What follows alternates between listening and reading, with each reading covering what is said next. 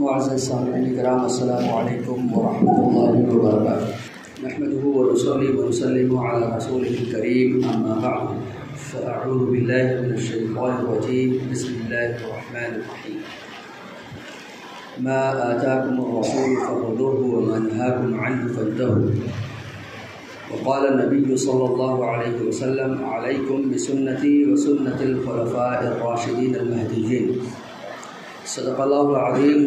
रसूलुहुन नबियुल अमीनुल मतीनुल करीम व नहनु अला ज़ालिका लमिनश शाहिदीन व शाकिरीन वल्हम्दुलिल्लाहि रब्बिल आलमीन दुरूद पाक पढ़े अल्लाह मुहम्मद वसल्लम अलैहि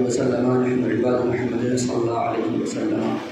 अल्लाह तबारक व तआला ने हम पर जो अपने इनामात और इकरामात फरमाए, मुसलमान होना ये अपने आप में कितना फ़ख्र की वजह है। इसका अंदाज़ा हम और आप से ज़्यादा गैरों को है। गैरों की दो किस्में होती हैं, इस लिहाज से। एक तो वो है जो इस्लाम की तालीमात से मुतासर हैं। तो मुतासर होकर के कुछ तो ईमान ले आते हैं और कुछ मजबूरियों में दबे रहकर अपनी इज़्ज़त और नाक की वजह से या हौसला न जुटा पाने की वजह से वही रह जाते हैं, लेकिन उनके दिल में इस्लाम का अदब व एहतराम और उसकी तालीमत का असर ज़रूर होता है। दूसरे वो हैं जो रात दिन बेचारे इस कोशिश में लगे रहते हैं कि कहीं से कोई कमज़ोर पॉइंट मिल जाए, कहीं से कोई बात मिल जाए, किसी तरीके से इस्लाम को बदनाम करें, किसी तरीके से इस्लाम को दिल से निकाल दें, लेकिन 1445 हिजरी चल रही है। और नबी करीम सल्लल्लाहु अलैहि वसल्लम ने 40 साल की उम्र में नबूवत का ऐलान फरमाया। तेरह साल मक्का शरीफ में रहे। और मक्का शरीफ से जब मदीना शरीफ गए, तब हिजरत शुरू हुई। तो वो हिजरत का साल है। तो 1445 प्लस तेरह साल नबूवत के ऐलान को हो रहे हैं। आज तक वो ढूंढ ही रहे हैं, न कुरान में, न हदीस में, न हुजूर सल्लल्लाहु अलैहि वसल्लम के किरदार में न इस्लाम के किसी कानून में कोई ऐब ना निकाल पाए। और जब उनके बाप दादा नहीं निकाल पाए तो उनकी औलादें तो नाकारा हैं। तो अब जब कुछ हाथ नहीं बनता है तो वही कहते हैं कि खिसियानी, बिल्ली खम्बा नोचे। जो भी अपना वो हरकतें उल्टी सीधी करते रहते हैं, आप सोचें कि बहुत ढूंढ ढांड करके अगर कोई लाता है तो आपने देखा होगा वही दो चार मसले कि गोश्त क्यों ज़बा करते हैं जीव हत्या हो गई तो जन्नत में फिर औरतों को क्या मिलेगा, मर्दों को तो हूरे मिल गई। इससे ज़्यादा क्या बोलेंगे वो? लेकिन इस्लाम के जो बुनियादी कानून हैं, ये तो मरने के बाद का नतीजा है। मुझसे एक साहब कहने लगे, मुझे ये बताइए, एक सिख का फ़ोन आया बाहर से, कहने लगा, मुझे ये बताइए कि मैं जन्नत में जाऊँगा या नहीं जाऊँगा? मैंने कहा, क्या आप जन्नत मानते हो? कहा वो तो शायद मैंने कहा तो शायद जब आप मानते ही नहीं हो तो जन्नत में जा क्यों रहे हो। सिंपल सी बात है। तो ये सब बात की बातें हैं कि भाई जन्नत में क्या होगा। सवाल ये है कि पहले मरना और मरने पर यकीन करना उसके बाद उठाए जाने पर यकीन होना फिर तो मोमिन ही हो जाएगा। फिर तो जाएगा ही जाएगा अगर इतना ईमान निकलता चला जाए तो। लेकिन इस्लाम के जो बुनियादी उसूल हैं तोहद और रसालत के बाद नमाज़, रोज़ा, हज, ज़क़़त और अखलाकियात और मामलात इसमें जो इस्लाम ने हमारी रहनुमाई की है, कुर्बान जाइए इमाम आज़म रदी के एक शागिर्द हैं, इमाम मोहम्मद रदी इमाम मोहम्मद ने एक किताब लिखी शेर कबीर। शेर कबीर वो किताब है जिसको पढ़ करके यहूदो यहूदी और नसरानी इस्लाम ले आए। इस्लामी कानून का जो मिजाज है, इस्लामी कानून की जो वसात है, उसको देख करके वो ईमान लाते हैं। ऐसी किताब है। और वाकई में अगर आप भी, मुझे याद आ रहा है गालिबा इंग्लिश या उर्दू में वो मिल जाएगी शेर कबीर। तो उसको आप पढ़ेंगे, जो इंटरनेशनल लॉ है, इस्लामी जो कानून है, वो एक एक कानून पढ़ते चले जाइए, दिल खुद गवाही देगा, ये इंसान का बनाया हुआ हो ही नहीं सकता। डेढ़ हज़ार साल से एक ही कानून पर अमल करते चले आ रहे मुसलमान, कभी तोड़ने या टूटने की ज़रूरत पड़ी ही नहीं। ये इस्लाम की खूबी है। इसी से दुनिया परेशान है कि जिस बंदे को ये समझ में आ जाए कि, क्योंकि सारी बुनियाद इस बात पर टिकी हुई है कि कुरान अल्लाह की किताब है या नहीं। तो सारी कोशिश वो ये करेंगे कि देखो तुम्हारा कानून ये सही नहीं। तो उसे ये साबित करना चाहते हैं कि ये इंसान का बनाया हुआ है, इसलिए टूट गया। और अल्लाह का अगर उतारा होता तो टूटता नहीं। तो पूरी ताकत इस बात पर झोंकते कि देखो ये कानून सही नहीं, देखो ये कानून सही नहीं, ये मसला है। लेकिन अल्लाह तबारक वाली अपने दीन की खुद हिफाजत फरमाता है। तो ये एक ज़माने से मुसलसल कोशिश चली आ रही है, चलती रहेगी, वो होता रहेगा। हमारी ज़िम्मेदारी है कि हम अपने इस्लामी कानून को जैसा उसको जो है अपनाना चाहिए, अपनाएँ। बस। हमारे और कोई काम नहीं है। हमारा, हमें अल्लाह ताला ने ये भी नहीं कहा कि तुम घर घर घंटी बजा करके जाओ, इस्लाम की दावत दो। ये हर एक का काम नहीं। जिसका काम है वो करता है। हमारा सबका मिल करके काम जो है, वो ये है कि हम जितने भी कानून हैं, हम बस अपना लें। तो अब उसी कानून में एक ज़क़़त का कानून है कि अल्लाह तबारक वाली ने जो ज़क़़त का कानून बनाया है, इसमें बहुत आसानी से एक चीज़ समझ लें तो ज़क़़त के मसले भी हल हो जाएँ आपके। कि ज़क़़त किसको दी जाती है? वो मुसलमान जो मालदार नहीं है। वो मुसलमान जो मालदार नहीं है, उसे ज़क़़त दी जाएगी। आप सोचें कि यही वो चीज़ है जो हमें बहुत मजबूती से जोड़े रखती है। नमाज़ के बाद ज़क़़त। नमाज़ भी हमें कैसे जोड़ती है? पाँच वक्त की नमाजें मोहल्ले को जोड़ती हैं। और जुमे की नमाज़ कई मोहल्लों को, कई कस्बों को जोड़ देती है। ईद की नमाज़ पूरे शहर को जोड़ देती है और हज पूरी दुनिया को जोड़ देता है। ये नमाज़ भी मामूली नहीं, इसे हम देखते हैं। हम अपने नज़रिए से देखते हैं तो चीज़ें अलग नज़र आएँगी। लेकिन हमारे इस्लामी, इस्लाम का जो मिजाज है और इस्लाम जो हमसे चाह रहा है, अगर हम गौर करेंगे तो समझ में आएगा। कि मोहल्ले में क्या चल रहा है? एक दूसरे की खबर रहे। कौन आया, कौन नहीं आया? क्या बात है? कोई परेशानी तो नहीं, कोई परेशान हाल तो नहीं है, कोई बीमार तो नहीं है, कोई किसी मुसीबत में तो नहीं है, कोई कहीं फंस तो नहीं गया बेचारा। तो मोहल्ले की मस्जिद में अगर आता जाता रहेगा तो आदमी को फ़िक्र रहेगी आज फुला नहीं आया। तो इस तरह से एक मोहल्ले में आपस में एक मेल और मोहब्बत पैदा और भाईचारगी पैदा हो जाएगी। इसी तरीके से ज़क़़त। कि जो आदमी ज़क़़त देगा और जो ज़क़़त लेगा, उनके दरमियान एक मोहब्बत का रिश्ता कायम हो जाता है। और इसी पर बुनियाद टिकी हुई है पूरी दुनिया की। अल्लाह तबारक व ताली ने किसी को गरीब बनाया, किसी को अमीर बनाया। अमीर अगर ये सोचे कि बड़े मौज में है, ऐसा कुछ भी नहीं है। गरीब ये सोचे हम बड़े सुकून से ऐसा कुछ भी नहीं है। क़यामत में सारा सुकून इस बात पर मौकूफ़ है कि किसने अपने रब को राज़ी कर लिया। गरीबी या अमीरी रब को राज़ी नहीं करती। इंसान के अपने अमल है, गरीब हो या अमीर हो, एक गरीब है और वो तकबर करे या अपने एहसान करने वाले का एहसान न माने, जहन्नम में जाएगा। एक अमीर है एहसान करके एहसान जता दे। कहा जाएगा? जहन्नम में जाएगा। एक अमीर है, अपनी दौलत की नुमाइश करे, वाहवाही लूटने के लिए नामो नमूद के लिए होल्डिंग लगाए, कहाँ जाएगा? जहन्नम में जाएगा। तो ये कि पैसा अमीरी या गरीबी जन्नत दिलाती ऐसा नहीं है। बल्कि ये है कि हम जो तरीक़ा अपना रहे हैं, वो तरीक़ा अगर अल्लाह रसूल को राज़ी करने वाला है तो जन्नत है। फिर वो चाहे अमीर हो, चाहे गरीब हो, चाहे गोरा हो, चाहे काला हो, चाहे मर्द हो, चाहे औरत हो, चाहे वो कहीं का हो। ये इस्लाम ने फ़र्क नहीं किया। तो अब एक देने वाला और एक लेने वाला उनके दरमियान एक रिश्ता बन जाता है। तो अल्लाह तबारक व ताली ने किसी को गरीब किया, किसी को अमीर किया और हर एक को एक दूसरे का मोहताज किया। जो अमीर है, वो किसी के मोहताज नहीं, ऐसा नहीं। है वो किसी न किसी चीज़ के मोहताज रहेंगे। पिछली बार जब मैं जुमे में यहाँ से गया था तो वो जो रैपिडो वाला था, वो हिंदू था।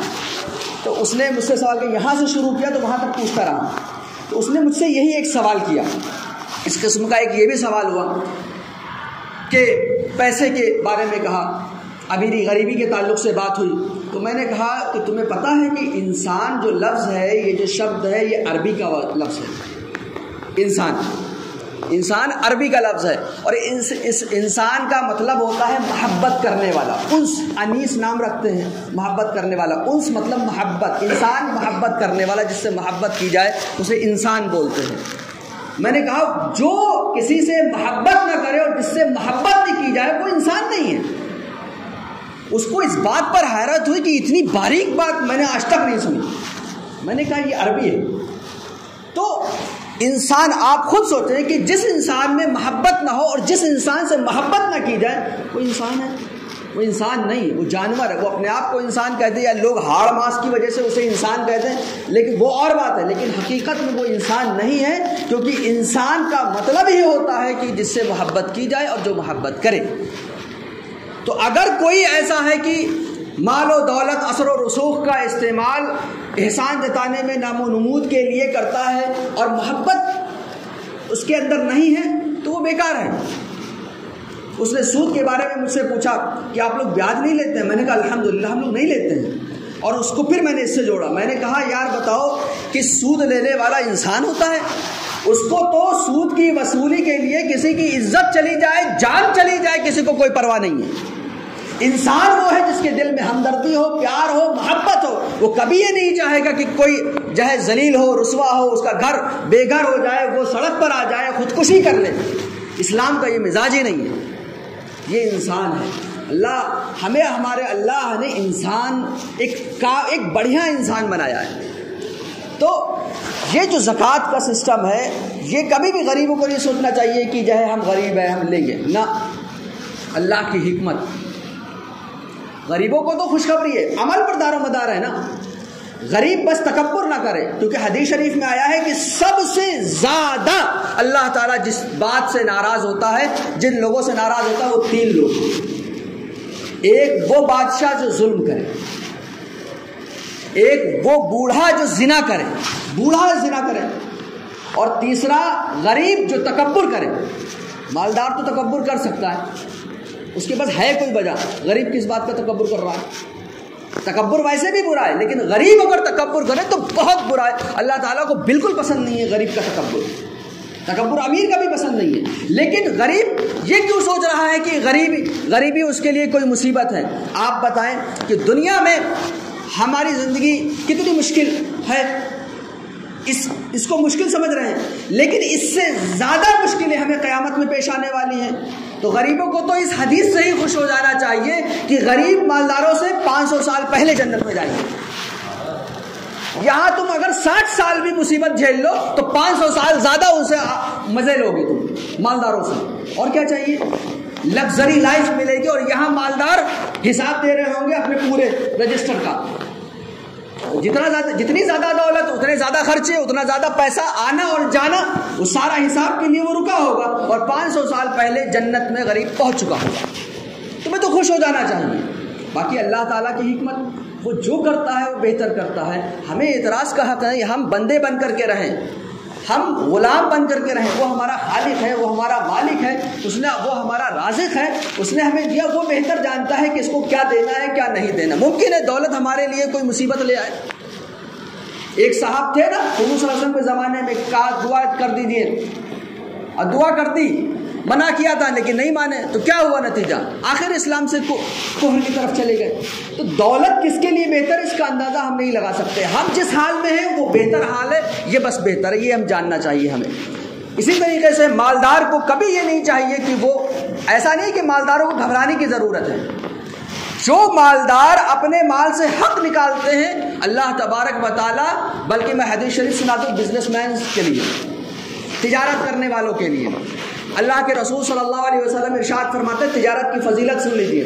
फरमाते हैं कि जो ईमानदार ताजिर है, ईमानदार, बिल्कुल ईमानदारी से तिजारत करता है। लोगों के बहकावे में आकर के कि झूठ बोलना पड़ता है, ये सब खुराफातों में ना पड़े। ईमानदार ताजिर अम्बिया कराम के साथ कुर्सियाँ लगाई जाएँगी उसकी। और क्या चाहिए? अम्बिया कराम के साथ कुर्सियों में साथ में बैठा होगा। इससे ज़्यादा कोई फजीलत चाहिए? आप सोचें। तो ये इंसान के अपने अमल पर डिपेंड करता है। गरीब तकबर करेगा, हला, हलाकत है। मालदार दिखावा करेगा, रुसवा करेगा, एहसान जताएगा, हलाकत है। तो ये ज़क़़त जो है, हमें एक दूसरे को, हम लोगों को एक दूसरे से जोड़ देती है। नमाज़ के बाद ज़क़़त, और नमाज़ और ज़क़़त इस तरीके से मिले हुए हैं। अल्लाह के रसूल सल्लल्लाहु अलैहि वसल्लम ने फरमाया, जो नमाज़ नहीं पढ़ता, उसकी ज़क़़त कबूल नहीं, जो ज़क़़त नहीं देता, उसकी नमाज़ कबूल नहीं। दोनों एक दूसरे से जुड़े हुए हैं। जक़ात नहीं दे रहा है तो नमाज़ कबूल नहीं। नमाज़ नहीं पढ़ रहा है तो जक़ात कबूल नहीं। ये नहीं कि भाई पैसा है तो हमने जक़ात दे दी अब मालदारों, गरीबों का ख्याल रख रहे हैं तो अब हो गई छुट्टी हमारी और बेड़ा पार हो गया। ऐसा कुछ भी नहीं है। हमें जितनी बातों का हुक्म दिया गया है, वो पूरी की पूरी बातों का, को बजा लाना ज़रूरी है। तो ज़क़़त का जो सिस्टम है, वो ये है कि मुसलमान फ़कीर को मालिक बना देना। मुसलमान फ़कीर को। फ़कीर से मुराद यहाँ पर है जो मालदार ना हो। और शरीयत में मालदार किसको कहते हैं? मालदार का मतलब ये होता है कि जो साढ़े बावन तोला चांदी की कीमत ज़रूरत से जायद, साढ़े बावन तोला चांदी कीमत का मालिक ना हो। अब साढ़े बावन तोला चांदी का मसला समझ लीजिए आप। ग्राम याद कर लीजिए। छः सौ तिरपन ग्राम एक सौ चौरासी milligram. Six five three gram और वन एट फोर छः सौ तिरपन ग्राम छः सौ तिरपन छः सौ तिरपन ग्राम एक सौ चौरासी मिलीग्राम। इसकी कीमत निकाल लीजिए, आप मार्केट में क्या वैल्यू है चांदी की? छः सौ तिरपन ग्राम, एक सौ चौरासी मिलीग्राम की चांदी जो होगी, वो कितनी कीमत की हुई? हर आदमी अपने अपने शहर का निकाल लें। अब जो कीमत आएगी, गालिबा हैदराबाद में बावन हज़ार के आसपास आ रहा है। तकरीबन कुछ कम ज़्यादा होगा।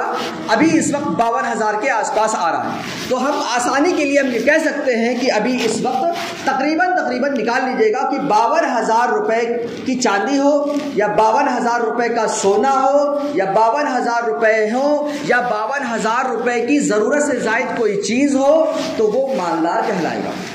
इसको ज़क़़त नहीं दे सकते। एक बात बहुत अच्छी तरीके से याद रखिए, ज़क़़त लेने वाला मालदार अलग होता है, ज़क़़त देने वाला मालदार अलग होता है। ज़क़़त देने में ये ज़रूरी है कि मालदार होने के साथ साथ साल भी गुजर जाए। ज़क़़त देने में ये ज़रूरी है कि मालदार होने के साथ साथ साल गुजर जाए, देने में। और ज़क़़त लेने में ये ज़रूरी नहीं है। मान लीजिए कोई गरीब है, उसके पास तीस हज़ार रुपये थे, आपने उसको बत्तीस हज़ार रुपये और दे दिए, अब वो मालिक निसाब हो गया ना, साल तो नहीं गुजरा, लेकिन अब जक़ात नहीं ले सकता वो, और ना उसको ज़क़़त दे सकते हैं, और ज़क़़त दी तो अदा नहीं हुई। इसी तरह से कुछ लोग सवाल करते हैं कि निकाह में पैसे देना तो उनको भी ख्याल रखना चाहिए कि आप तभी देंगे जब सोना चांदी उसके पास ना हो, और उतना ही देंगे जितने से मालिक निसाब ना हो। अगर आपने दे दिया, मालिक निसाब हो गया, फिर नहीं दे सकते, क्योंकि वो मालिक निसाब हो चुकी है या हो चुका है। ये ये ध्यान रखने वाली बात है कि माल, मालदार दो तरह के हो गए। एक वो जो जक़ात देगा तो वो साल गुजरने पे देगा। और एक वो जो जक़ात ले नहीं सकता मालदार, वो कौन है? जो साढ़े बावन तोला चांदी या उसकी कीमत का मालिक है, ज़रूरत से जायद। अब ज़रूरत से जायद कोई भी चीज़ हो कोई भी चीज़ हो, ज़रूरत से जायद। ज़रूरत से जायद घर है, ज़रूरत से जायद गाड़ियाँ हैं, ज़रूरत से जायद कपड़े हैं, ज़रूरत से जायद, मान लीजिए, ज़रूरत से जायद, ज़रूरत का लफ्ज़ याद रखिएगा, ज़रूरत से जायद किताबें हैं, ज़रूरत से जायद कोई भी सामान है। अगर ज़रूरत से जायद है तो फिर वो मालदार हो जाएगा, अगर उसकी कीमत साढ़े बावन तोला है। ठीक है? अब यहाँ पर जो घर और गाड़ी की बात आ गई तो कन्फ्यूज़न ना हो तो एक मसला और सुन लीजिए कि जिन चीज़ जो चीज़ें ज़रिया होती हैं, जो चीज़ें ज़रिया होती हैं, उस पर ज़क़़त नहीं होती है। जो आमदनी का ज़रिया होती है, जैसे किसी के पास गाड़ी है, गाड़ियाँ चलवाता है, और उससे आमदनी आती है, गाड़ियाँ किराए पर देती है, दे, जैसे किसी के पास घर है, घर किराए पर उठाता है, और उसकी आमदनी आती है। जैसे किसी के पास कोई भी गाड़ियाँ हैं, मशीनें हैं, लोगों को किराए पर देता है, और उससे आमदनी होती है तो आमदनी का जो ज़रिया होता है, उस पर ज़क़़त नहीं होती है। अगर किसी के पास एक या एक से ज़्यादा घर है एक या एक से ज़्यादा गाड़ियाँ हैं और उसको किराए पर चलवाता है, उस, उसने आमदनी के ज़रिए के तौर पर इस ख़रीदा है। आमदनी के ज़रिए के तौर पर ख़रीदा है। तो उस मकान पर, उस गाड़ी पर ज़क़़त नहीं है। उसकी आमदनी पर ज़क़़त है। ज़क़़त का एक मोटा सा उसूल है। कौन ज़क़़त देगा? किन किन चीज़ों पर ज़क़़त है? सिर्फ़ तीन चीज़ें। बहुत आसान सी बात है। सिर्फ़ तीन चीज़ों पर ज़क़़त है। इतनी सी बात याद रखनी है। सिर्फ़ तीन चीज़ों पर जक़ात। सोना, जब साढ़े सात तोला हो। चांदी, जब साढ़े बावन तोला हो। ठीक है? और तिजारत का माल। बस। चौथी कोई चीज़ ही नहीं है। सोना, चांदी, तिजारत का माल। सोना, चांदी, तिजारत का माल। बस ये तीन चीज़ों पर आपको ध्यान देना है। तो जो घर या गाड़ियाँ किराए पर देते वो तिजारत का माल नहीं है, वो तिजारत का ज़रिया है। तिजारत का माल तो वो है जो आएगा, आमदनी आएगी आपके पास, है ना? इसी तरीके से जो परचून वगैरह की दुकानें, वो वो तिजारत का माल कहलाएगा। वो आप बेच रहे हैं। आप गा, आप किराए की गाड़ी बेचते नहीं हैं, उससे किराया हासिल करते हैं। लेकिन परचून की दुकान वगैरह, इस टाइप की जो चीज़ें होती हैं हार्डवेयर की जो दुकानें होती हैं, उसमें आप पूरा का पूरा सामान बेचते हैं, उसके बदले में आप लेते हैं। है ना? तो वो तिजारत का माल है। तो सोना चांदी और तिजारत का माल, इन तीन चीज़ों पर जक़ात है और बस। अगर साल गुजर जाए तो जक़ात देनी है। जिस चीज़ के आप मालिक हैं, उसकी जक़ात देनी है। जिसके आप मालिक नहीं, उसकी ज़क़़त नहीं देनी है। तो जैसे जिसके मालिक नहीं हैं आप, जिसके मालिक हैं, वो समझिए, अब आपने एफडी कराई तो आप मालिक तो हैं ना? है तो आप ही का? है ना? जीपीएफ जितना भी होता है एफडी होता है आरडी होता है, आपका डाकखाने में भी रखते हैं या एलआईसी कराते हैं, पैसा तो आपका ठीक है? तो जिस चीज़ के आप मालिक हैं, उसकी आप जक़ात निकालेंगे साल गुजरने पर। अच्छा साल का हमेशा जो जोड़ रखेंगे, वो आप रखेंगे हिजरी सन से। ठीक है? अगर किसी ने ऐसा नहीं किया है तो कर जनवरी फरवरी से नाजायज़ हराम है। जनवरी फरवरी से नाजायज़ हराम है, क्योंकि दस दिन घटते हैं। दस दिन का फ़र्क आएगा। तो अगर आप पंद्रह रमज़ान को मालिक निसाब हुए, मान लीजिए, आप पहली मरतबा मालदार हुए पंद्रह रमज़ान को। और अगर आपने जनवरी फरवरी से लिया, तब तो गड़बड़ हो जाएगा, क्योंकि आप दस दिन देर से देंगे फिर तो अगले साल। अगर आप, अब इसका कौन सा महीना चल रहा है? मार्च का। अगर आप मार्च का ख्याल करेंगे तो आप दस दिन बाद में देंगे। एक घंटे की भी ताखिर नहीं करनी है। इसलिए साल पूरा होते होते, यानी जिस दिन साल पूरा हो गया, उस दिन आप जक़ात निकाल दीजिए। बेहतर है कि पहले निकाल दीजिए। ठीक है? तो पंद्रह रमज़ान को आप मालिक निसाब हुए तो अगले साल पंद्रह रमज़ान से पहले पहले जक़ात निकाल दीजिए। तो ये मोटी मोटी बातें हैं। एक और मसला बहुत ज़्यादा पेचीदा हो जाता है, लोगों को समझने में दिक्कत होती है कि अगर थोड़ा सोना है, थोड़ा चांदी है, थोड़ी सी चांदी है तो ज़्यादा मसला नहीं है। आपको जो पकड़ना है जिस चीज़ को, वो है साढ़े बावन तोला चांदी की कीमत। इसे पकड़े रहिए आप। तो अगर थोड़ा सोना है और थोड़ा चांदी है तो उन दोनों की कीमत को जोड़ देंगे। मान लीजिए तीस हज़ार का सोना है और मान लीजिए बीस हज़ार की चांदी है तो तीस और बीस पचास हुए। और आप, उसके अलावा आपके पास कुछ नहीं है। तो आप मालदार नहीं हुए, क्योंकि अभी हम लोगों ने क्या कहा था कि चांदी तकरीबन बावन हज़ार होनी चाहिए। समझ रहे आप? तो अब नहीं हो रहा। लेकिन अगर सोना चालीस हज़ार का हो जाए और चांदी हो जाए आपकी बीस हज़ार की, अब हो गए साठ हज़ार आपके। अब मालिक निसाब आपके हो गए, आप हो गए। तो अब साल गुजरने पर आप पर जक़ात होगी और इसका सबसे बेहतर तरीका यह है कि जिन लोगों को जक़ात निकालनी होती है, वो लोग एक मरतबा अच्छे से बैठ करके समझ लें। हमेशा के लिए। हर साल चाहे अगर किसी बंदे को, देखिए, यहाँ से रिपीटिशन इसलिए होता है बार बार क्योंकि हर साल कोई ना कोई नया मालदार होगा। तो यहाँ से तो रिपीटिशन होगा। लेकिन हर आदमी को अगर रिपीटिशन की ज़रूरत पड़ रही है तो तवज्जो देने की ज़रूरत है कि जिस पर ज़क़़त फ़र्ज़ है, वो फ़र्ज़ इल्म नहीं सीख रहा है। इतनी देर किस बात की? आपके ऊपर ज़क़़त फ़र्ज़ है। ज़रा सा चूके आप तो बहुत बड़े गुनाह में फंस जाएँगे आप। तो साढ़े बावन तोला चांदी या साढ़े सात तोला सोना। अच्छा साढ़े सात तोला सोना ग्राम में अगर बदलेंगे तो होगा आपका तिरानवे ग्राम तीन सौ बारह मिलीग्राम। तिरानवे नाइन्टी थ्री ग्राम्स और तीन सौ बारह मिलीग्राम, ठीक है? तो तिरानवे ग्राम तीन सौ बारह मिलीग्राम। तो ये जो कहा जाता है ना कि साढ़े सात तोला सोना, साढ़े बावन तोला चांदी, इसका मतलब क्या होता है? इसका मतलब ये होता है कि अगर किसी के पास जो है न चांदी हो, न पैसा हो, और सिर्फ़ सोना है, कुछ भी नहीं है, सिर्फ़ सोना है तो वो जक़ात कब देगा? जब साढ़े सात तोला सोना हो। ये है मसला। ये साढ़े सात, साढ़े बावन का ये मतलब नहीं कि आपके पास सोना, चांदी जो है थोड़ी थोड़ी सी है तो अब आप सोच रहे हैं। ना, मसला यह है कि अगर किसी के पास सिर्फ़ सोना है तो वो तब मालिक निसाब होता है जक़ात देनी होती है साल गुजरने पर जब साढ़े सात तोला हो। यानी तिरानवे ग्राम, तीन सौ बारह मिलीग्राम और अगर कम है तो जक़ात नहीं देगा। लेकिन ले तो नहीं सकता, क्योंकि वो उतनी मालदार हो जाएगा वो। ठीक है? अगर किसी के पास सिर्फ़ चांदी है, ना सोना है, ना पैसा है तो कितनी होनी चाहिए? तो साढ़े बावन तोला होनी चाहिए छः सौ तिरपन ग्राम, एक सौ चौरासी मिलीग्राम। ठीक? अगर किसी के पास सोना भी साढ़े सात तोला नहीं, चांदी भी साढ़े बावन तोला नहीं, थोड़ी थोड़ी सी है तो दोनों की दोनों को दोनों की कीमत को जोड़ देंगे। अब देखेंगे कि कीमत कितनी आई। अगर वो कीमत चांदी की कीमत को पहुँच जाएगी तो वो मालदार हैं। साल गुजर गया तो जक़ात देगा। है ना? क्लियर है? ठीक है? तो ये ज़क़़त के, बस इतनी ही ज़क़़त की आपको ज़रूरत पड़ेगी। अगर किसी के साथ कोई नया मसला है, पूछ लिए, पूछ ले उलमा से, ठीक है?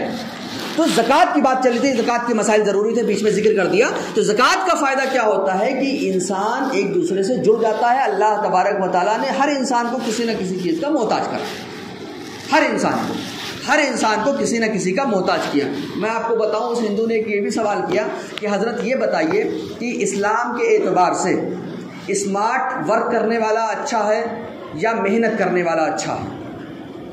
मैंने कहा, आप जो पूछना चाह रहे हो, वो ये सवाल ही नहीं है। उसके पूछने का मतलब क्या था पता है? कि स्मार्ट वर्क करने वाला अच्छा होना चाहिए और मेहनत करने वाला बुरा होना चाहिए। ये बहुत बड़ी गलती है। मैंने कहा, आप सवाल नहीं सही कर पा रहे हो, आप पूछना कुछ और चाह रहे हैं। मैंने कहा, आपके सवाल का मतलब ये निकलेगा कि जो है, एक काम को, एक ही काम को कोई अच्छे तरीके से कर सकता है और कोई मेहनत से करेगा। तो ये ये चीज़ ये बताएगी कि ये आदमी बेवकूफ़ है। कि भाई उस काम को आप अच्छे तरीके से कम टाइम में बहुत आसानी से कर सकते थे। और वो कर रहा है स्मार्ट वर्क तो स्मार्ट वर्क का मतलब ये हुआ कि स्मार्ट वर्कर जो है, वो हार्ड वर्कर से बेहतर है। मैंने कहा, ये तराजू इस्लाम में है ही नहीं। अगर कोई गरीबी की वजह से, किसी भी वजह से पढ़ लिख नहीं पाया, तजर्बा नहीं मिल पाया, बहुत सारी वजह हो सकती है। उसमें उसका क्या कसूर है? वो क्या इंसान नहीं है? हमारे यहाँ इस्लाम में छोटा बड़ा ऐसे नहीं नापते हैं। हमारे यहाँ छोटा बड़ा इस्लाम में अमल के एतबार से कि उसके उसके कर्म कैसे इस बात पर नापते हैं। अगर कोई हार्ड वर्कर है जी मिसाल के तौर पर जो आप पूछना चाह रहे हैं, कोई हार्ड वर्कर है, मेहनत मजदूरी करता है, लेकिन एक स्मार्ट वर्कर है, चालाक, धोखा देता है तो कौन अच्छा है? वो मेहनत करने वाला अच्छा है। तो यहाँ बात दिल की है, यहाँ बात हमदर्दी की है, प्यार और मोहब्बत और इज़्ज़त की है। अगर आप इज़्ज़त नहीं दे सकते तो स्मार्ट वर्किंग का क्या करेंगे हम? ये ये सवाल आप देख रहे हैं। अच्छा इससे क्या पता चलता है कि उनकी जहनीत कैसी है? वहाँ जो परेशानी रहती है वो यही। हमारे यहाँ अल्हम्दुलिल्लाह आज भी मुसलमानों में ये हरकतें नहीं अल्लाह का फजल है। ऐसा नहीं है कि जैसे अभी हम लोग खड़े हो जाए तो आप आ, कभी सोचते हैं कि ये नीची जात का है ये हार्ड वर्कर है ये कुमार है ये लोहार है? कभी जहन में आया? कभी नहीं। खड़े हो गए। कभी जहन में नहीं आएगा। कभी नहीं आएगा। न जक़ात देने वाला। अरे ये नीच है।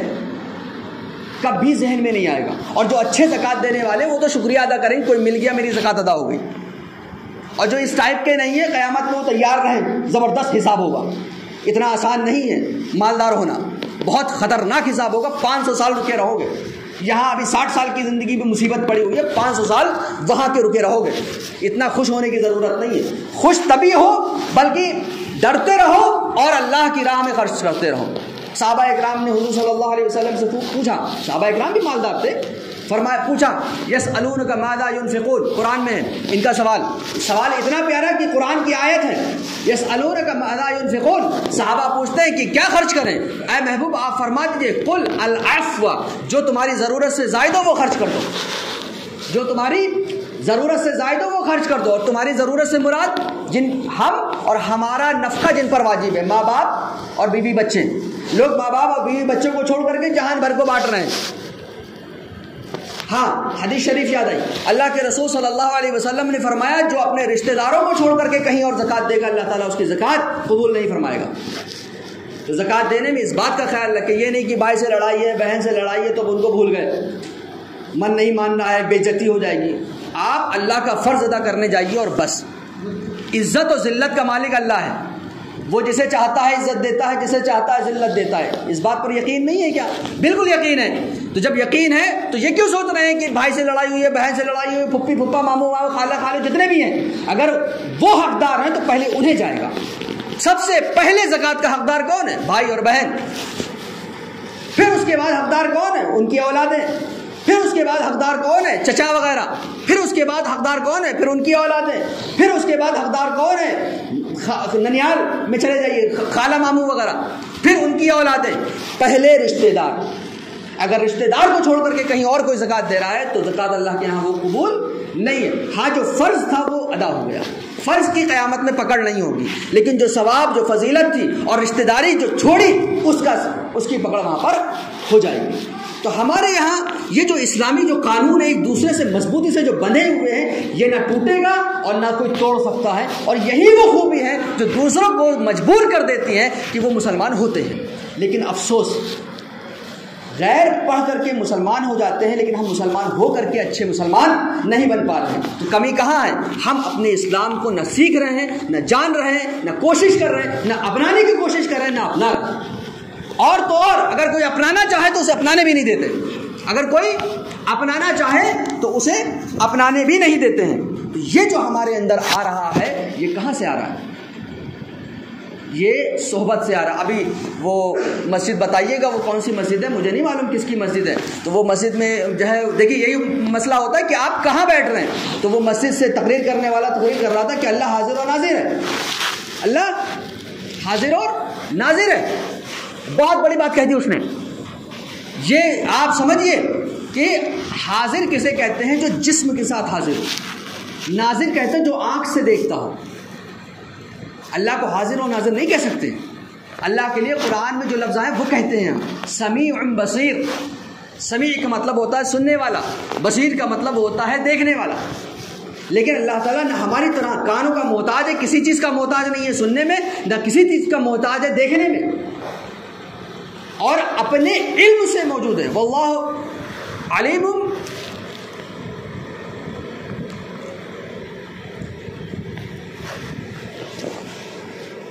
खैर, आयत का तर्जमा यह है कि अल्लाह ताला का इल्म पूरी कायनात को घेरे हुए कोई चीज़ अल्लाह के इल्म से बाहर नहीं है। सारी चीज़ें अल्लाह के इल्म के अंदर है। तो अल्लाह तबारक व ताली जिसम से हाजिर नहीं होता है। अल्लाह तबारक व ताली इल्म से हर चीज़ को घेरे हुए हैं। और इससे ज़्यादा हमें कुछ नहीं सोचना है। तो सोहबत, आप किस सोहबत में बैठ रहे हैं? कहाँ जा रहे हैं? क्या कर रहे हैं? ये बड़ा अहम मुद्दा है। ज़रा सा हेर फेर आपको कहाँ से कहाँ ले जाएगा? आप आप देखिए कि छोटी छोटी चीज़ों को देख लीजिए आप। ये जो, इसमें जो तार लगे हुए हैं, एक तार काट दीजिए बस आप और चला दीजिए। हम कहेंगे एक ही तार तो काटा क्या दिक्कत है? एक तार तो है मामूली सा, नहीं चलेगा। तो एक छोटी सी चीज़ को आप छोटा ना समझिए। ट्रेन, जिन्होंने भी ट्रेन का सफ़र किया, वो जो रूट बदलते हैं, वो जो पटरियाँ बदलती हैं, और पटरी ना बदले, वो ज़रा सा गैप छोड़ दें, ज़रा सा, फिर क्या होगा? तो आदमी कहते ज़रा सा तो था, ये ज़रा सा गैप आपको मौत के डहाने पर ले जाएगा, और ज़रा सी चूक आपको जानना में ले जाएगी। तो दीन किससे हासिल कर रहे हैं? ये बहुत कायदे से समझ लीजिए इस बात को। ये कि अरे यार, कोई भी हो, ना। तो ज़क़़त के मसाइल में भी ऐसे आपको लोग मिल जाएँगे। रमज़ान रोज़ा है, ज़क़़त है, रमज़ान है रमज़ान है। तरावी का मामला, अभी परसों में साहब एक फ़ोन किया उन्होंने। फ़ोन किया उन्होंने मुझे, कहने लगे कि क्या दलील है? तो उनके अंदाज से तो यही लगा कि वो अपने नहीं हैं। लेकिन खैर, मैंने कहा, कोई बात नहीं है।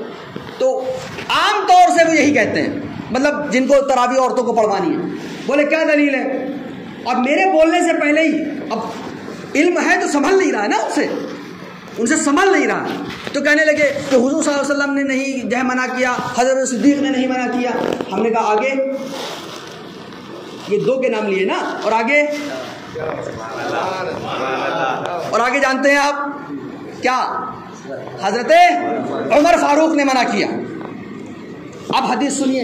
अल्लाह के रसूल सल्लल्लाहु अलैहि वसल्लम इरशाद फरमाते हैं, अलैकुम बिसुन्नती व सुन्नतिल खुलफाए राशिदीन अल महदीयीन। तुम पर मेरी सुन्नत और खुलफाए राशिदीन की सुन्नत वाजिब है। ये किसका फरमान है? हुजूर का फरमान है। और कौन उमर? हज़रत उमर फ़ारूक आज़म, वो उमर हैं कि रसूल कायनात सल्लल्लाहु अलैहि वसल्लम ने ख़ास करके उनके लिए दुआ फरमाई, अल्लाहुम्मा इस्लाम उमर खासतन हदीस के अल्फाज हैं कि अय अल्लाह, इस्लाम को इज़्ज़त दे, खास कर उमर बिन खत्ताब से।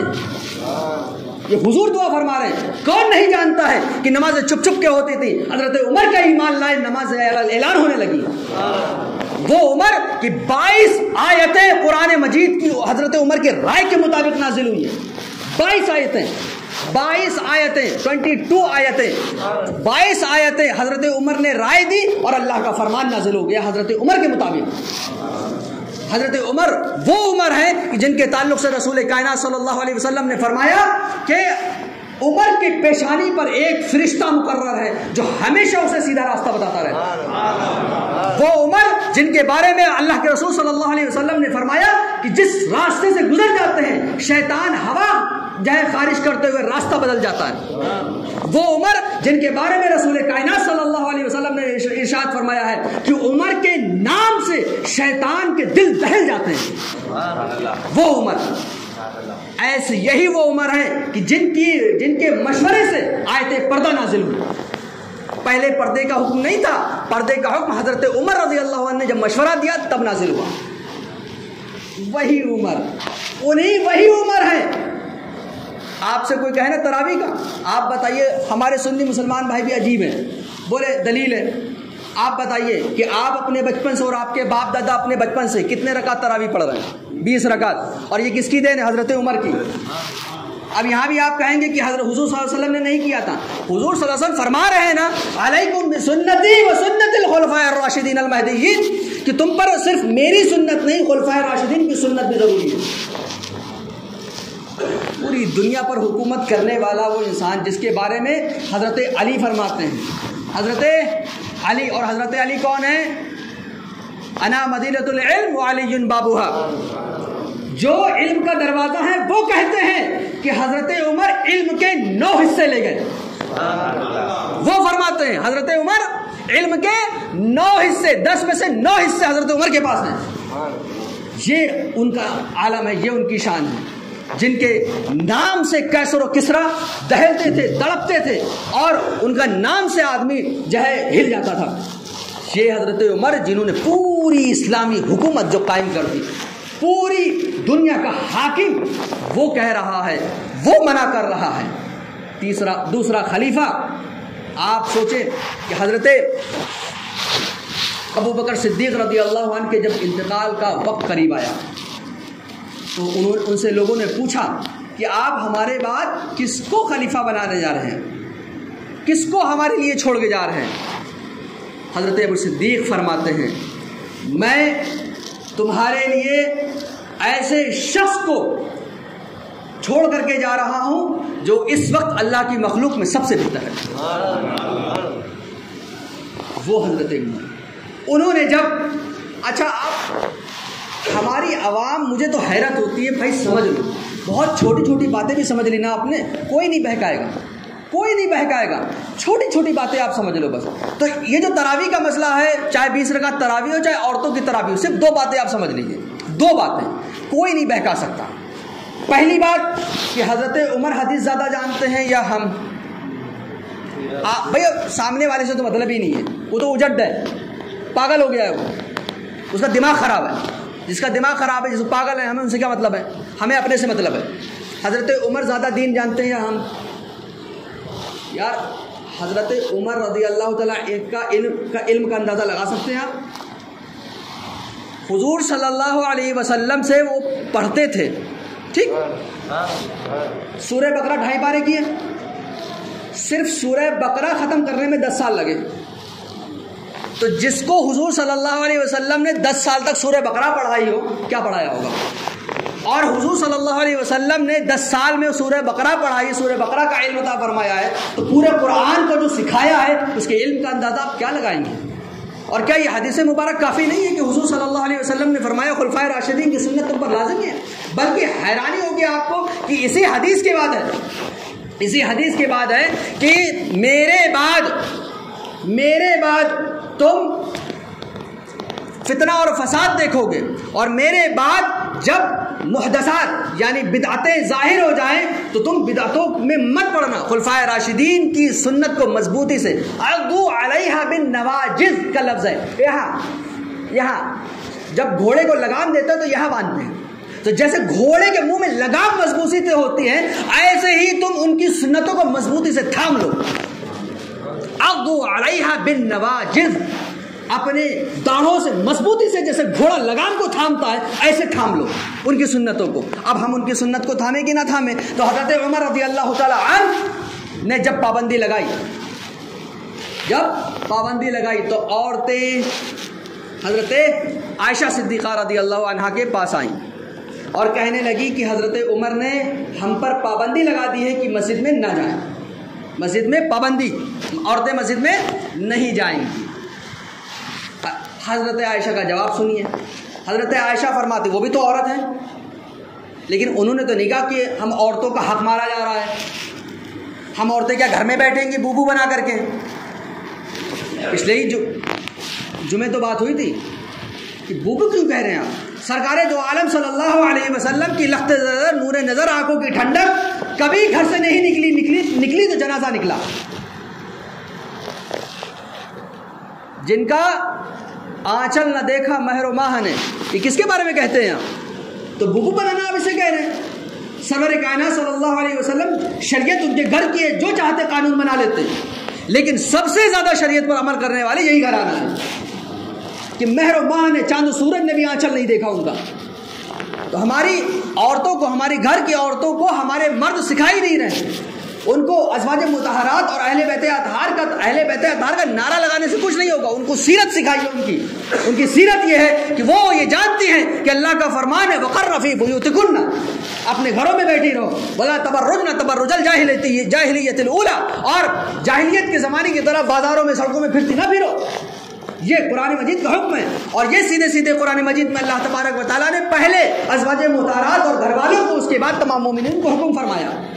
तो ऐसा नहीं है कि ये इसमें जो है कोई जो है वो किया गया है, ना इंसाफ़ी की गई बल्कि अल्लाह तबारक वाली ने सबसे पहले अजवाज मुतारात अहल बतहार को हुक्म दिया। उसके बाद तमाम मोमिन को हुक्म दिया कि ये पर्दा करें और जो है बाज़ारों में घूमती ना फिरें। तो हज़रत आयशा सिद्दीक़ा रदी अल्लाह तला खुद भी तो औरत हैं। उन्होंने नहीं कहा उमर कौन होते हैं, हुजूर हुजूर की हदीस से हज़रत आयशा से कौन ज़्यादा जाने। हज़रत आयशा सिद्दीक़ा रदी अल्लाह वो है कि जिनसे जिनसे नबी करीम सल्लल्लाहु अलैहि वसल्लम की बाईस सौ हदीसें रिवायत की गई हैं। बाईस सौ हदीसें। आधा इस्लाम टिका हुआ हज़रत आयशा सिद्दीक़ा रदी अल्लाह पर। और घरेलू मामला और औरतों के मामला जितना हज़रत आयशा जानती है, कोई नहीं जानता, मर्दों में भी कोई नहीं जानता। वो हज़रत आयशा है। हज़रत आयशा वो है कि जबरील सलाम को सलाम भेजते हैं। हज़रत आयशा वो है कि हुजूर सल्लल्लाहु अलैहि वसल्लम बिस्तर में उनके साथ होते हैं, वही नाजिल होती है। हज़रत आयशा वो है कि जिनकी गोद में नबी करीम सल्लल्लाहु अलैहि वसल्लम का विशाल हुआ है। हज़रत आयशा वो है कि जिन, जिनका निकाह अल्लाह तबारक वाली ने पढ़ाया है। वो है हज़रत आयशा, जिनको अल्लाह तबारक वाली ने चुना हजूर के निकाह के लिए। समझ रहे तो हज़रत आयशा से निकाह रदी अल्लाह तहा से भी ज़्यादा हमदर्दी आ गई, उनसे ज़्यादा औरतों का मिजाज समझ में आ गया। तो हज़रत आयशा का जवाब सुनिए और कुर्बान जाइए। अल्लाह रबुल्ज़त हम मोमिनों के दिलों को बिल्कुल वाज रखता है। कहीं कोई, कभी कोई ये नहीं कह सकता, नहीं, हमें कोई समझाने वाला नहीं था, हमें तो पता नहीं था। कुर्बान जाइए। जो लोग बुखारी बुखारी का रट्टा लगाते हैं, उसी बुखारी में यह हदीस है। पूछो उनसे पकड़ करके कहा गई बुखारी? बुखारी से लाओ बुखारी से लाओ। सही हदीस सही हदीस चिल्लाते रहते हो। लो बुखारी की सही हदीस। हज़रत आयशा सिद्दीक़ा रज़ी अल्लाह फरमाती हैं कि अगर हुजूर सल्लल्लाहु अलैहि वसल्लम ने ये ये ज़माना जो है जो लोगों में फसाद आ गया देखते तो वो भी यही हुक्म फरमाते जो हज़रत उमर ने फरमाया है। हज़रत आयशा से ज़्यादा हुजूर का मिजाज कौन जान सकता है? हज़रत आयशा क्या फरमा रही है? कि अगर लोगों में जो फसाद आ गया है, अगर हुजूर सल्लल्लाहु अलैहि वसल्लम देखते तो वो भी यही हुक्म फरमाते जो हज़रत उमर ने फरमाया है। और जो तमाम साहबा कराम ने हज़रत उमर की बातों पर जो, मसले पर जो इत्तेफाक किया, उन साहबा कराम का क्या करेंगे आप? उनसे ज़्यादा आप कुरान हदीस समझने लगे, उनसे ज़्यादा आपको दीन की समझ आ गई, उनसे ज़्यादा आप हालात ज़माने समझने लगे। आप बताइए, हज़रत आयशा क्या फरमा रही है? लोगों में जो फसाद आ गया है ये भाई, फसाद पहले ज़्यादा था या अब? फसाद पहले ज़्यादा था या अब? आदमी की जब अकल उल्टी हो जाए ना तो कुछ नहीं किया जा सकता। सरकार आला फरमाते हैं, खुदा जब दीन लेता है तो अकले पहले छीन लेता है। तो उधर ध्यान मत दीजिए। सवाल यह है कि हज़रत हुजूर, वो खुद कह रहा है ना बंदा, ध्यान दो, आप बात को पकड़ो वहीं से। हुजूर सल्लल्लाहु अलैहि वसल्लम ने नहीं किया, हज़रत सिद्दीक ने नहीं किया, और हज़रत फारूक वो क्या अलग है उनसे? उनसे ज़्यादा समझदारी आ गई तुम्हारे अंदर, ज़्यादा हदीस पढ़ ली है। तो जिसने ज़्यादा पढ़ लिया हज़रत उमर से, उससे हमारा कोई काम नहीं है। ये काम शैतानी काम है। ये शैतान दवा करेगा और कोई नहीं। क्योंकि शैतान ही को हज़रत उमर से चिड़ है। शैतान ही है वो जो हज़रत उमर से जो चिड़ रखता है। उसके पेट में दर्द होता है। दिल दहले रहते हैं। तो हज़रत उमर शयातीन का फिर इलाज क्या है? शयातीन का इलाज क्या? हज़रत उमर की हदीस पढ़ो। शैतीन का इलाज क्या? हज़रत उमर की हदीस पढ़ो। और पढ़ो कि हजूर सल्लल्लाहु अलैहि वसल्लम की ये हदीस तुम्हें नहीं पहुँची, सही ये सही हदीस कि मेरी सुन्नत और खुलफा राशिदीन की सुन्नत तुम पर लाजमी है। ठीक है? तो दोनों मसला मसले हल हो गए। आठ रका तरावी का भी और औरतों का मसला भी। और वो जो बुखारी बुखारी की दलील मांगते हैं, कहो उसी बुखारी में है कि औरतों को मस्जिद में नहीं जाना है। तो अब बुखारी को माने कि ना माने वो बोलो। बुखारी छोड़ दें। बुखारी को नहीं माने? तो अब ये कौन सी बात है कि मीठा मीठा हफ हफ कड़वा कड़वा छू छू अपने मतलब से बुखारी और फिर बुखार? इसीलिए ओलमा सुन्नत फरमाते हैं कि पढ़ते नहीं जो दिल से बुखारी, आता है बुखार उनको, बुखारी नहीं आती।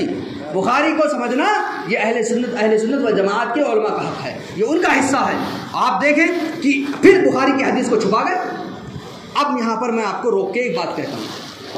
कि अहले हदीस गैर मुकल के जितने हजरात हैं, ये आप बताइए, सच सच बताइए, ये बुखारी और सही हदीस का हवाला मांगते कि नहीं मांगते? हैं मुझे आप बताइए, ये हदीस बुखारी में है, अगर कोई गैर मुकल कह देना मैं मैं मैं, मुझको बुलाइए आप, मैं दिखाऊँगा। लेकिन आप मुझे एक बात बताइए, पकड़िए बात को, कि जब वो बंदा बुखारी बुखारी करता है तो इस हदीस को क्यों छोड़ा? ये धोखेबाजी नहीं, और जो धोखेबाज हो, वो दीन का रहनुमा हो सकता है, वो रहबर हो सकता है। फिर इतनी सी बात समझ में नहीं आ रही। तो अब आप ये क्यों, जब आप देख रहे हैं कि किसी आदमी में गड़बड़ी है, धोखेबाज है, फ्रॉड है तो उसकी बात सुनते ही क्यों है? नहीं, ये बात अच्छी है। अरे, शैतान भी कभी कभी सच बोलता है। तो कोई बात अच्छी कह देगा तो क्या पूरा अच्छा उसके, आप उसके पीछे चले जाएँगे? आप ये देखिए कि जो, जिसने आपको, आज आपको बताया गया कि बुखारी में हदीस है तो आपको पता चला ना? ऐसे न जाने कितनी बात होती है। आते आते मैंने सुन लिया, उस मस्जिद से इस तरह की बातें तो आपको पता चला ना कि हाँ उस मस्जिद में गड़बड़ है। आपको खुद को कैसे पता चलेगा कि यहाँ जाना है, यहाँ नहीं जाना है, यहाँ बैठना है, यहाँ नहीं बैठना है? सिंपल सा असूल है। जब आपको बता दिया गया कि इस तरह के लोग फराडिये होते हैं, धोखेबाज होते हैं, अपने मतलब से चीज़ें लाते हैं, छुपा लेते हैं, बुखारी भी छुपा लेते हैं पुरानी मजीद भी छुपा ले रहे हैं। हज़रत उमर रदी अल्लाह पर इल्ज़ाम लगा रहे हैं, साहबा इग्राम पर इल्ज़ाम लगा रहे हैं। हज़रत उमर को चैलेंज कर रहे हैं। ऐसे लोग, ऐसे लोगों की बातें सुनना चाहिए। इसमें समझाने वाली बात क्या है? मैं तो यही हैरान रहता हूँ कि समझाने वाली बात क्या है।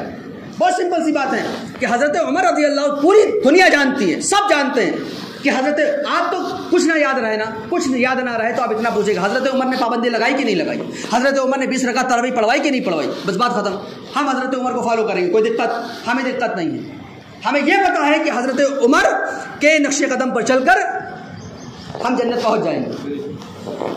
छठा एक वर्ग का आदमी है चार किताबें ढंग से नहीं पढ़ी। हम भाई तुम्हारी क्यों सुन लेंगे? जिनको रसूल काना रसूल काना सल्लल्लाहु अलैहि वसल्लम ने खुद पढ़ाया हो, हम उनकी सुनेंगे। तो जब हदीस में है कि हुजूर हज़रत उमर रज़ी अल्लाह तआला ने बाकायदा तौर पर बीस रकात तरावी का अहतमाम फरमाया तो है।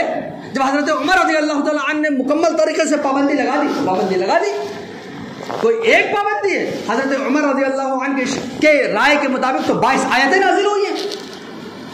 तो हज़रत उमर रदी अल्लाह तफा राशिदीन में है और खलीफा राशिद होने के साथ साथ अल्लाह के रसूल सल्लल्लाहु अलैहि वसल्लम की दुआएँ हैं उनके साथ। नबी करीम, हमारा और आपका अकीदा क्या है? नबी करीम वसल्लम आलिम गैब है। और अल्लाह के अल्लाह रब्बुल इज़्ज़त ने हुजूर सल्लल्लाहु अलैहि वसल्लम की कभी, नबियों की कभी कोई दुआ नहीं होती। और आप तो नबियों के सरदार हैं और हुजूर खुद फरमा अल्लाह इस्लाम। इस्लाम को इज़्ज़त दे। इस्लाम को इज़्ज़त दे तो इज़्ज़त औरतों की पाबंदी में है, न कि औरतों को बाहर लाने में। हुजूर की हदीस है। हुजूर की हदीस को चैलेंज मत करो। अल्लाह के रसूल सल्लल्लाहु अलैहि वसल्लम दुआ फरमाया है कि हुजूर के हज़रत उमर रज़ी अल्लाह से इस्लाम की इज़्ज़त है। तो हज़रत उमर रज़ी अल्लाह के फरमान पर अमल करने में ही इस्लाम की इज़्ज़त है। यहाँ पर ये मत सोचिए, फुला कर रहे हैं तो हम भी जाएँगे बुराई का, बुराई को बुराई से नहीं रोकिए। बुराई को भराई से रोका जाता है। बुराई बुराई को अच्छे अच्छे कामों से ख़त्म किया जाता है। अगर कोई गाली देगा, आप उसको गाली से रोकेंगे। तो नतीजा क्या होगा? गाली और बढ़ेगी। अगर गाली से गाली का जवाब देंगे तो क्या होगा? गाली ज़्यादा हो जाएगी। बुराइयों को ख़त्म करना बुराई तरीका नहीं होता। ये तो ऐसे ही जैसे मुहर्रम मनाने वाले, ढोल बजाने वाले कहते हैं कि हम भी शोर मचाएँगे क्योंकि वो शोर मचाते हैं। ये कोई बात नहीं इस्लाम है। इस्लाम हमेशा नेकी का, नेकी की दावत देता है। इस्लाम हमेशा भलाई का हुक्म देता है। अच्छे काम करो। और हम पर सिर्फ़ अच्छे काम करना लाजमी है। किसी को पकड़ पकड़ करके, पकड़ पकड़ करके हमें बताना ज़रूरी नहीं है। हमने अपने बात पहुँचा दी, अपनी बात समझा दी, उतना काफ़ी है। तो बहरहाल तो दो बातें यहाँ पर रोज़ा नमाज़ के ताल्लुक से आई। नमाज़, रोज़ा ज़क़़त। के नमाज़ के बगैर ज़क़़त कबूल नहीं, ज़क़़त के बगैर नमाज़ कबूल नहीं। ज़क़़त के मसाइल हो गए, कुछ दिक्कत है आपको तो वो मुसलसल रबते में रहिए। लेने वाले को चाहिए कि अपने देने वाले का हमेशा सिर्फ़ सामने नहीं, पीठ पीछे भी शुक्रगुजार रहें। देने वाले को चाहिए कि अपना एहसान जाने, उसका कि एक बंदा मिला कि आपने उसको ज़क़़त दी। ज़्यादा खुश होने की ज़रूरत तकबर करने की ज़रूरत और सीना चौड़ा करने की ज़रूरत नहीं है। अल्लाह तबारक वाली तकबर को तोड़ देता है। ये मालदारों की ज़िम्मेदारी है। तीसरा ये कि अहल सुन्नत जमात का जो प्लेटफॉर्म है, उस पर रहिए कुरान हदीस। सहाय सित्ता बुखारी, मुस्लिम की जो हदीस हैं, कुरान मजिद। और साहबा इकराम का अलिया इकराम का जो तरीक़ा है, जो नक्श कदम है, उस पर चलिए। और जो है इस बात को बहुत बारीकी से समझिए कि जो धोखा देने वाले जो लोग हैं, उनको आप पहचानिए जल्द से जल्द। और जो मार्केट में चलने लगा है, उसके पीछे दौड़ मत जाइए आप। हमें और आपको कुरान हदीस पर अमल करने के लिए भेजा गया है। मानना, न मानना मनवाना ये हमारा काम नहीं है। हमें तो बस उतना काम करना जितना शरीयत ने हुक्म दिया। वो क्या कर रहे हैं, वो क्या नहीं कर रहे हैं, हमें उससे मतलब नहीं है। हमें इससे मतलब होना चाहिए कि हमें क्या करना है। बस। और हमें ये करना है कि बीस रखा तरावी पढ़नी है और हमेशा पढ़ते रहना है। हमारे जो माँ बाप थे, वो गुमराह नहीं थे। वो हक पर थे और बीस रका तरावी पढ़ गए, वैसे ही पढ़ गए। ठीक है? इसी तरीके से हमारे जो बुजुर्गान दीन हैं, वो हमसे ज़्यादा जानते हैं कि औरतों को बाहर लाने में भलाई है या अंदर ले जाने में भलाई है। और अल्लाह के रसूल सल्लल्लाहु अलैहि वसल्लम की हदीस मुबारक, ये भी सही हदीस है। फरमाया कि औरत की नमाज़ उसके घर में बेहतर है और घर घर में भी दालान से बेहतर, कमरा और कमरे से बेहतर कोठरी है। हदीस सुनिए कि नहीं सुनिए? कि औरत की नमाज़ सबसे बेहतर कहाँ है? कोटरी में। तो सबसे बेहतर तरीके से रमज़ान में नमाज़ पढ़नी चाहिए कि बाहर आज़ाद होकर के? और हज़रत उमर रदी अल्लाह के बारे में जो हजूर वसल्लम ने दुआ फरमाई है इसको ध्यान रखिएगा कि इज़्ज़तें हज़रत उमर रदी अल्लाह के नक्शे कदम पर हैं। ठीक है? इससे हटे तो फिर जो है, वो शैतान का रास्ता है और वो यही चाहता है। अल्लाह तबारा वाली से दुआ है कि हमसे जो बोलने में गलती उसे माफ़ फरमाए। अपने हबीब सल्लल्लाहु अलैहि वसल्लम के सत्ते में हम सबको अपने हुजूर वसल्लम के चार महबूब यार, उनके नक्श कदम पर चलने की तोफ़ी अदा फ़रमाएँ। असल वरहमल वर्का